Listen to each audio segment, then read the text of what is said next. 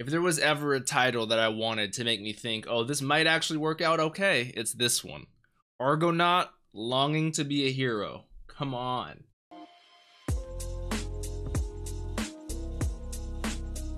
What's up, Dapper Squad? It's your boy Darius back at it again with Danmachi, Season 2, Episode 10. Last episode, we had the mission, we finally had the resolve to rescue Haruhime at no matter the cost. So it's Bell and Mikoto going ham. Mikoto's having some issues, but she's up against a lot of very challenging adventures, so I can't blame her in the slightest. But Bell was able to successfully destroy the stone but now we also have to deal with Aisha, Franny, Samira, Shara, whatever all their names are, which is not looking good. But I am looking forward to this episode. So remember, if you guys want early access, full length to the page to this show, all the shows I'm watching, the Patreon is always down below. Um, we are four episodes ahead currently. If you guys want to support me, and Patreon's not really your thing, if you guys could just leave a like and a nice comment, and if you guys are new here, make sure to subscribe, join that Dapper Squad, click that bell button so you guys always know when I post, and follow me on all my social medias, Twitch, Instagram, and Twitter at Dapper Darius. Let's hop into this. Danmachi, Season 2, Episode 10,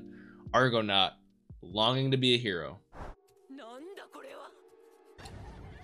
I don't know how this all happened to the pleasure quarter, but oh, is this Freya? Because she finally said, let's get going.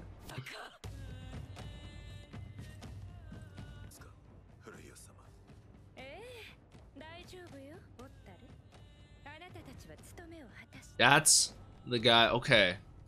Oh, I was wondering who the other Chienthrope was that looked like Bete that was saying, Why are you making me doing this, bunny? I think Freya is having him also spy on Bell. So he's the one who sent Freya and Otaro the report that Bell had been taken by Ishtar and that they were up to some fucking shit. So she's like, All right, we'll we'll put him out of their misery. What so hmm, interesting one goddess to another. I'm gonna go have a conversation with her. One woman to another. That's even realer. I'm not gonna be involved with that one. I'm out of here. And there's one thing you don't want to get in the middle of. It is not even two gods conversating. It's two women conversating. So.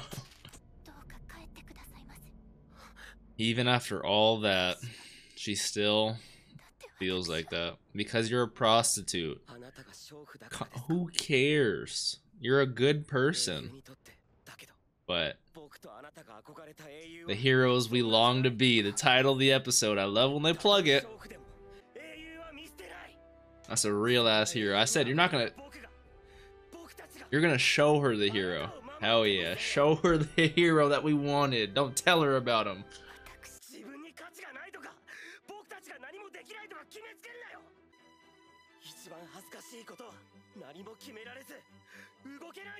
Exactly how he felt last episode or two episodes ago.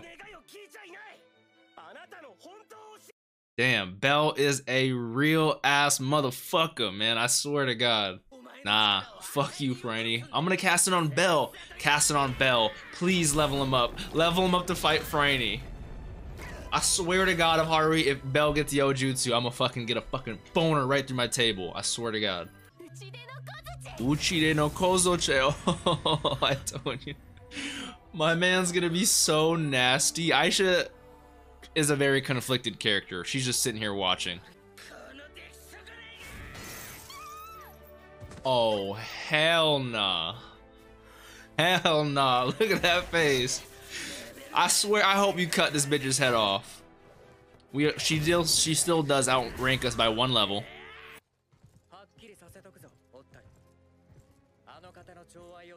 しているベルクラネルはスカン敵を排除するという真意には従おうだが我々は奴を助けない Okay So they don't care about Bell. They actually don't like Bell, but they're still gonna follow Freya's orders, of course. They're not gonna go out and explicitly protect him, but they're gonna kill his enemies, which is somewhat protecting him. What is Otaro doing, though? Oh, saw Mikoto out there. She fell in the bush. I was wondering about that fall from last episode. So Otaro, I wonder why. Only reason I wonder why is because of what I was literally just talking about. Like Freya, unless she specifically states, "Hey, protect Bell," you know they don't like the one who's taking up all their goddess's time, all the goddess's attention. So they're obviously gonna protect Bell by killing the others. But if we see Bell like falling, I might I'm not gonna jump off the ledge to save him type shit, you know? But so that's why I wonder because I honestly don't think Freya would give a flying fuck about Mikoto. So I think is Bell gonna be too upset that Mikoto got murdered or killed to the point where at Bell's behest Otaro did that for I don't I'm just so curious why Otaro did that. I because he he's a very interesting character to me too. Ooh, god damn. This is the other Chienthrope that I was talking about earlier. Six. Allen. It was Allen. Yep. Allen Fromel. Vana Freya.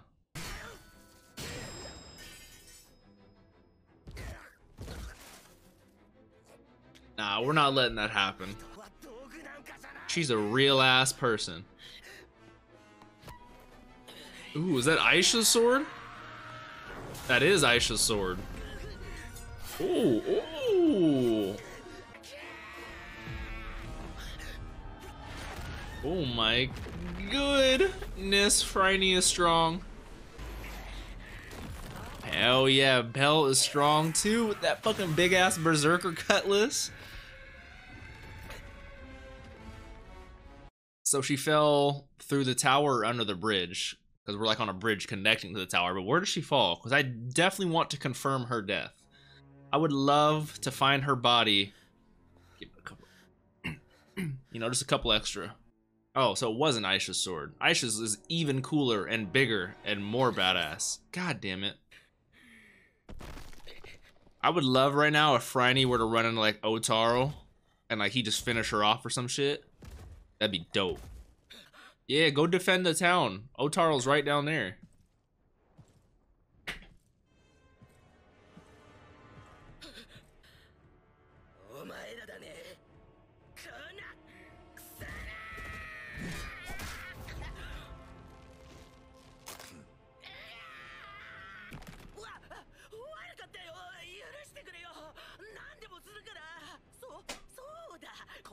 That would insult me. I will literally kill you because you offered that. Especially if Freya was my goddess. Are you...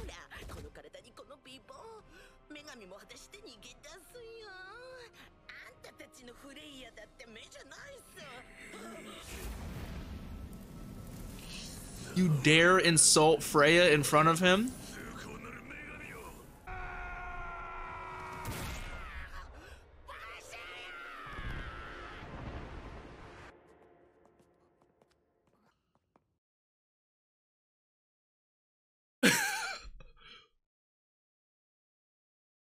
Oh, I'm sorry. I just had to process that, man. I never would have thought I would love, I'd be chanting on Otaro to kill someone. I'm sorry I had to pause. I'm just like, that was a moment right there. That was a moment.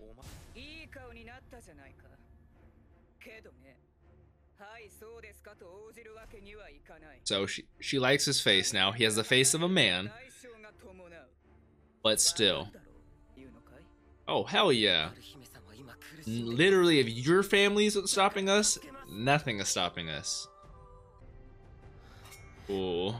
I'm actually happy this isn't with his normal two daggers, even though his daggers are awesome and they fit his combat style, amazing with his mobility and shit. This is more badass. Ooh, our, oh, the Yojutsu ran out. Oh, he was waiting for it to run out. Because he's a manly man. Hell yeah. Oh, we're gonna have a con. I can. How did I already? So much shit is happening in this episode. I already forgot about the woman to woman conversation.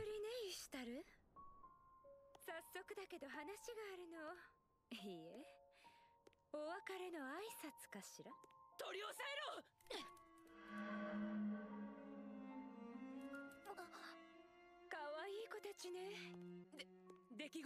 So, hmm, cause, hmm, let me know in the comments. If it's spoilery, don't tell me, obviously, because uh, Ishtar said that she tried to charm Bell last episode, but something he had, which I assumed was realist rephrased, even though it had a different name, crystallizes his emotion. So he can't be charmed by the likes of goddesses or gods.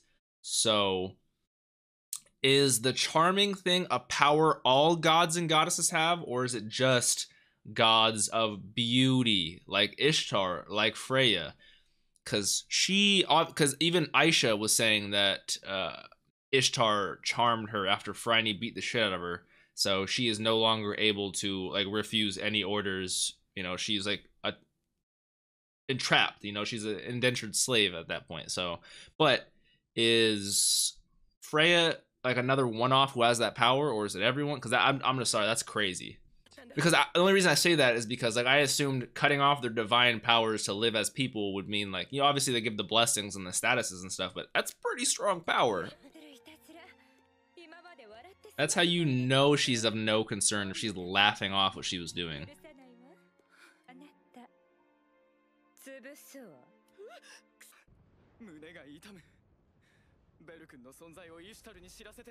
Yeah, if you think about it, Hermes caused this whole thing.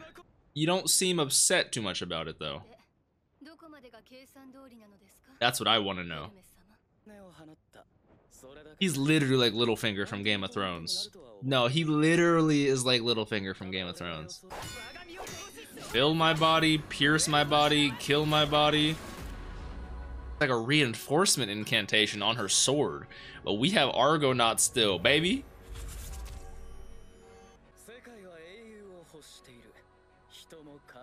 Yep. This still this still relates back to Zeus in the end of the first season. Hermes is trying to turn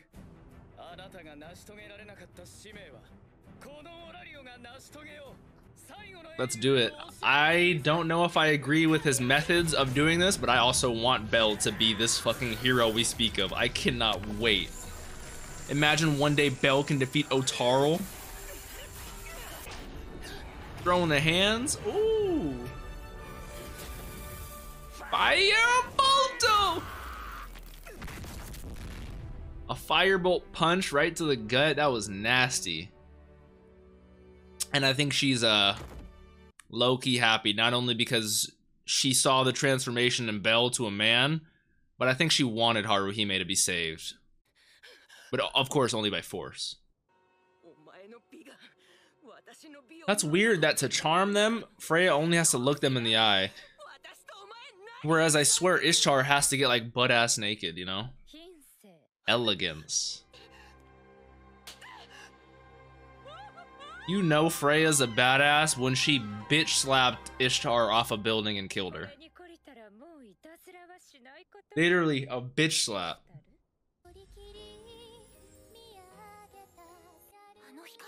Is this what happens when a god dies? She was summoned back to heaven.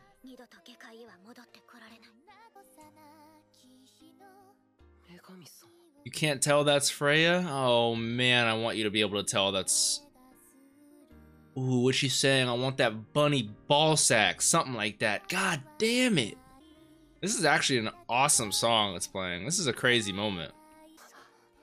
Finally woke up. Damn, bro. We saved her. We did it.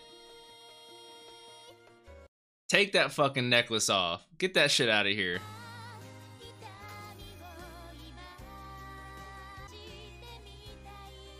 Shit, I want to fucking cry right now. My hero.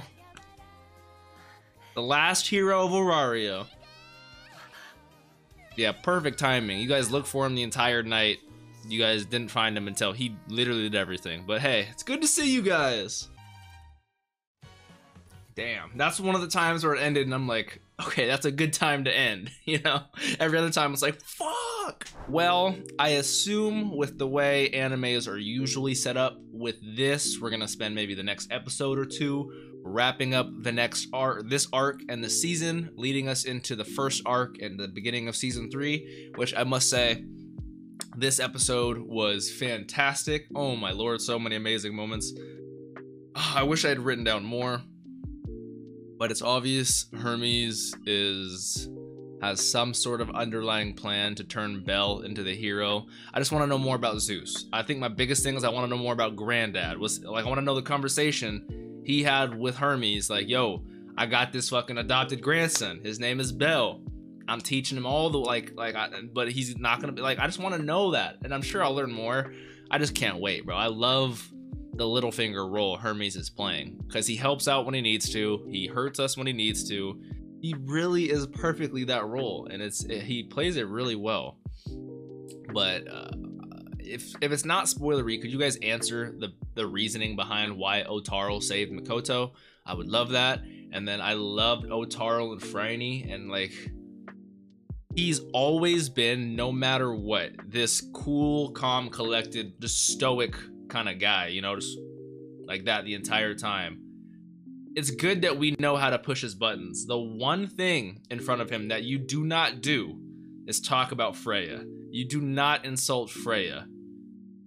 Eh, wow. Like the way he looked, the, the way they animated him, I'm sorry. I would never fuck with that. I could, he's a level. Okay, so Franny is a level 5 who's nasty. And she, he caught her, but he has two level, but it's like, damn, bro. Like the scaling is so obvious in the show. Like, I think that's our fucking my ultimate end game. Otarl is gonna be our final boss, which is crazy. But then like I'm I'm always wondering about the story, like. And, and if this isn't a spoiler, could you guys answer for this for me too? If it is a spoiler, just say it's a spoiler and I'll, I'll learn later in the show. But is season two of Sword of Oratoria ever gonna come? Or is season three also gonna have? Because there's a whole side storyline about the dungeon and everything. Like, there's a, a, lot of questions that need answering and a lot of major plot points that are, but like, that's all about Aiz and the Loki familia. And this is about Bell and Danmachi. So, is there a Sword of Oratoria season two, or would I find that out by watching the main show? I'm curious. You know, answer me that. But other than that, this episode was fantastic. I love the fights. I love Aisha. I love the sword. Love the Yojutsu. Loved everything about it. If you guys enjoyed, please leave a like. Let me know your thoughts down below. If you guys want early access, full length. Actually, before we leave, I forgot. I always forget. We do have a disc. We do it because not too many people do it. As more people use it, I'll obviously be used to doing it at the end of every episode we do have a q&a section in the discord. If you guys ever want to ask me any specific questions i do it at the end of every episode that i see them on. This, i just i just noticed it i won't lie. But uh this one is by gizmo watt. Thank you for your question my friend. He says for Danmachi, as of now which of the five should be like 50 which of the five waifus, Aiz, Lily, Ryu, Syr, or do you actually see Bell dating slash getting together with in the future? Just wondering what my opinion would be. I'll be honest, I think Ryu is too traumatized in, in her past and is too mistrusting. I think Bell is literally the only, and her coworkers obviously, is the only one she trusts in the world. I can't see it being Ryu. Lily is that typical short haired, super friendly sidekick that our main character always has, so it's not going to be her. Um, Eina, possibly, but she's the she's the guide. You know, you can't date your guide. And then Syr, I still don't trust Syr because of the whole Freya thing. People told me um, that the logo on the necklace that Syr gave to Bell was the Freya Familia logo, which I would have known eventually. I just don't ever see the back of people on the Freya Familia. I just don't get a look at all the people's logos. But, which someone told me to look at it, think about it, but obviously didn't spoil it for me, but obviously kind of connects the dots for me. But they were like, now that we know that that's the Freya Familia logo who Syr gave to Bell, where did Bell find the grimoire that originally gave him his spell? I was like, huh, let me think about that. He got it at the, the tavern, and Syr's the one who gave it to him. That's like when I was off camera, that's what I was like, because I was going through my comments, and I was like, holy shit. So, I don't think it's Syr, only because I don't trust her. So, Eina no, Syr no, Ryu no, uh, Lily no, that only leaves one. The tried and true beauty, the fucking original waifu of the show, Aiz. Is who I think eventually we could be. Because like it's not and with all the other girls, like obviously they like Bell and think he's a very cool person. But I think Aiz is one of the only ones who like obviously they all blush, but I think Aiz like genuinely likes him back. Like she could, you know, I don't know. But that's the question. If you guys ever want to ask me anything, Discord always down below. Thank you so much, Dapper Squad. I'm gonna catch you in this next one. Thank you, Gizmo Watt, for that question. Aiz, though, is your answer. Peace out, guys.